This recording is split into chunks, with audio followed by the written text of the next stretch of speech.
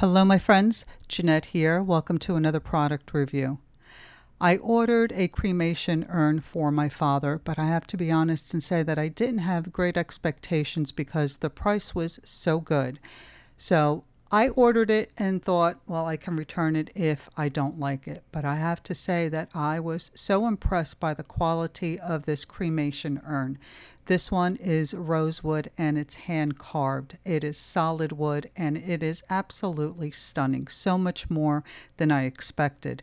This one measures 9.5 by 6 by 5.25.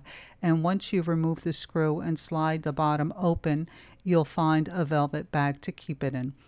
I am very satisfied with this purchase, and I think my dad would be too.